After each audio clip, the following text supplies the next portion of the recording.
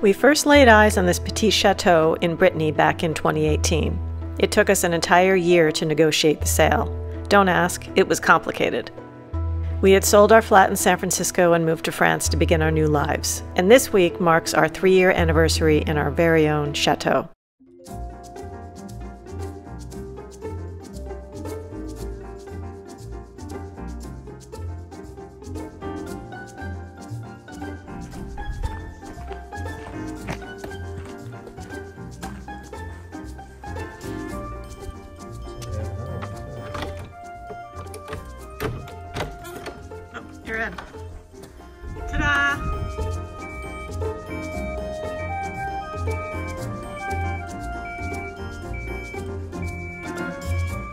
So we're um, here in the garden drinking champagne because we're celebrating three years of living in the chateau, right? Yes, Yes, you're very excited, aren't you? I am. Well, we survived. We, we made it. Yes. We made it. It hasn't been easy. So cheers. Cheers. Yeah, we never celebrate anything, do we? No, not really. No, we, we There's don't. There's always on to the next. Right. It's like there's a birthday. Um, okay, that's good. Um, yeah, we don't celebrate birthdays or we go, "Hey, hey, happy birthday. Yeah, good job. You made it another year.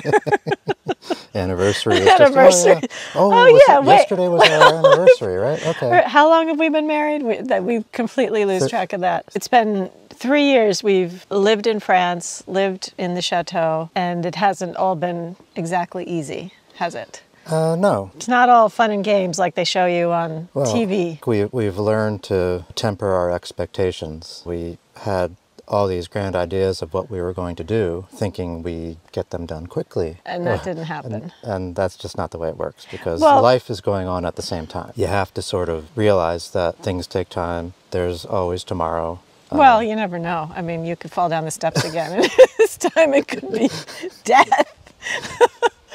he did fall down the steps and Yes. broke his wrist, but we do have children, and um, that was a big deal getting them acclimated to a new life, a new language. So, plan when we arrived was to start renovating immediately, and like Lincoln said, that didn't happen. The basic things just took us a great deal of time to work through. Yeah, so how have our lives changed since we moved to France? We wear a lot of linen now. Yeah. Yes. We get excited for things that we wouldn't have gotten excited for living in mm-hmm. San Francisco, like buying new ladders.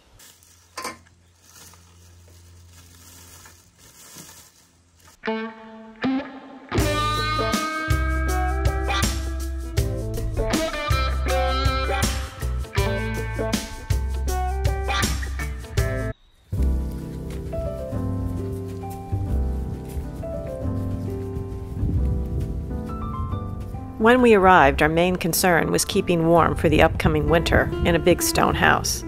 As you can see, it's still a bit drafty in certain places. I don't think the candle should be flickering like this indoors.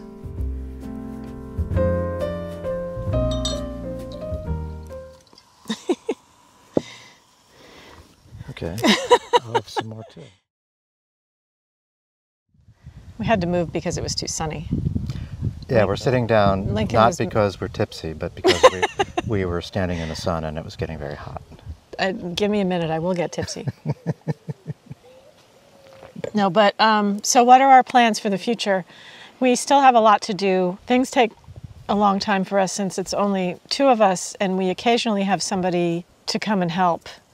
Our friend is here maybe once a week, and he's a great help. We were going to have someone do the bathroom for us, but we've decided to tackle the job ourselves. So that's That means me. that means him. No, I can help. I, I can help. I'm good at, you know, do that. yeah. No. You're the taskmaster. No, yes. no, no. No, I'm really not. Um, I'm more of the organizer. Yes, yes, you are. So the give you that. bathroom is a big job. So we're standing in our, our side door entry, and when you enter, on the right hand side was, and I guess still is, a bathroom. We're supposed to be remodeling the upstairs one. Which is directly above this. Okay, so what are you doing down here? We've got some things to remove from here. There's old uh, lead water pipe that goes up that was originally from our well, which we don't use in the house anymore. So we're going to get that out of here. And that was enclosed behind the wall, so I had to get the wall down.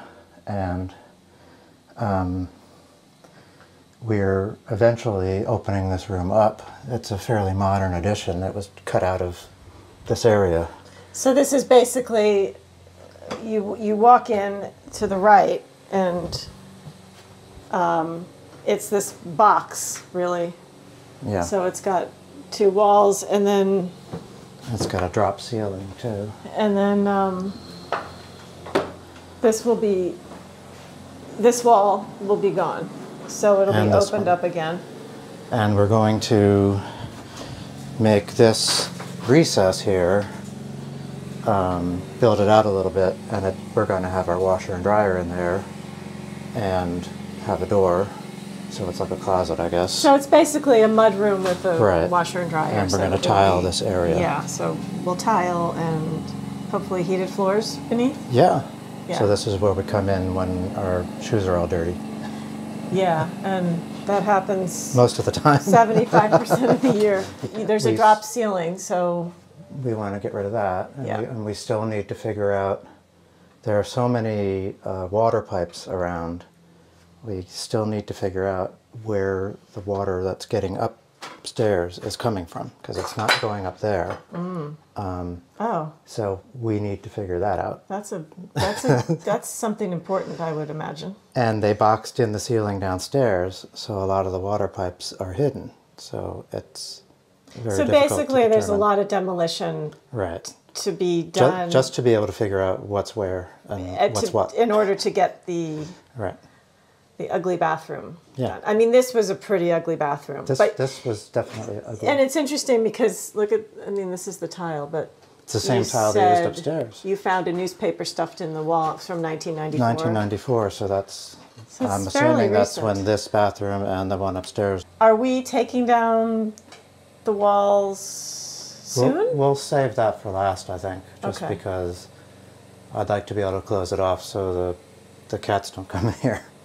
Um, Oh, I'll yeah, pull down the okay. ceiling and do everything from the inside, but I think we'll still leave the two walls up until we're ready to really, when we're done, done. you know? okay. Yeah, just makes sounds more like sense a to good me. idea. Yeah. Okay. Well, Simultaneously, I'm trying to finish the guest room, and the cottage has to be addressed because we have a big beam that needs to be replaced. Right. And my big project, uh, which I remind Lincoln of every day, is the kitchen renovation Which is a, a huge project. because that involves taking down a wall. We need to get the cottage sorted and put Right. a kitchen in the cottage before we can start on Well, I- main house kitchen. I'm a chef by trade. I used to be. I don't cook for money anymore, but I have to have a kitchen. We'll, we'll show it right before we demo it. We do get some messages from people asking about volunteers, and yes, we we will have volunteers. We just have to figure out a place for the volunteers to stay comfortably because we don't want somebody coming and living in a tent. I mean, if you want to, that's fine. You're more than welcome to. I'll feed you, but that's not an ideal situation. Right. So we need to get that sorted. You know, when we moved in, our plan was to start a B&B, but as you can see, the, the renovation of the cottages has taken longer than anticipated. So Three years and counting. You know, everything was all was in a sort of decent state when we moved in, and it's more just cleaning things up and um, fixing cracks, Fixing little plaster. and- yeah, nothing is. Um, there's not nothing falling apart, really. structural that, Yeah. aside from the cottage, that we're dealing with. So it's. Um, I think that's why we've waited so long. Come on, doggies.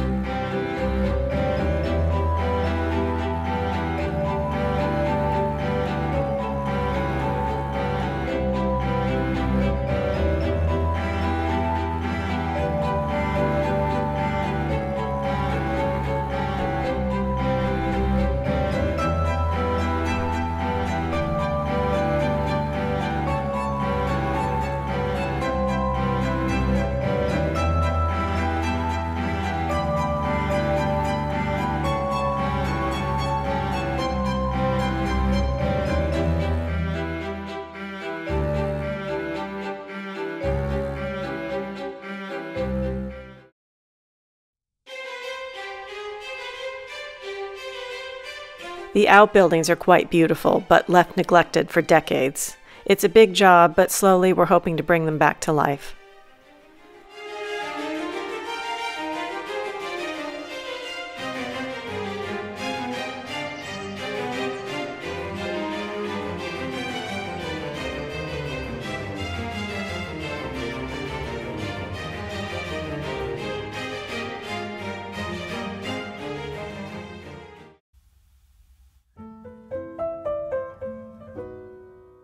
One day, while digging around outside, as one does, I discovered a cement slab in front of this smaller outbuilding. We uncovered it and saw that the cement was cracked in several places, so we went ahead and added gravel.